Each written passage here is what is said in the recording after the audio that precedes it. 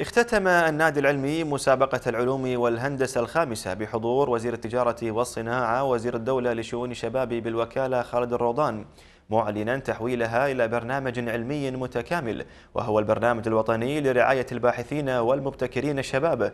الروضان أكد أن الاهتمام بالشباب ضرورة لافتا إلى تنوع التعليم يحصد علماء.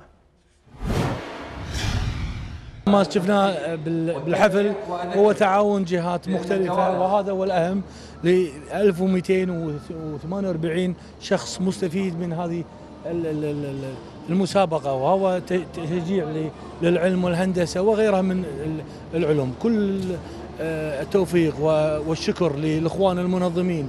والدكاترة الأفاضل. يجب هناك تنوع بالاهتمامات المختلفة سواء الرياضية ولا العلمية ولا غيرها. نعتقد أنا وجهة نظري إن هناك كان بالسابق في تقصير نوعا ما بتشجيع المسابقات العلمية. لذلك سوف يكون هناك هناك اهتمام بشكل أكبر بالفترة القادمة. يتعامل النادي العلمي بجدية وبروح المسؤولية تجاه مستقبل شبابنا وتطلعاتهم.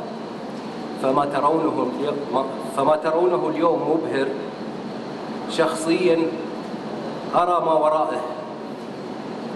عمل أعجز عن شرحه أو وصفه.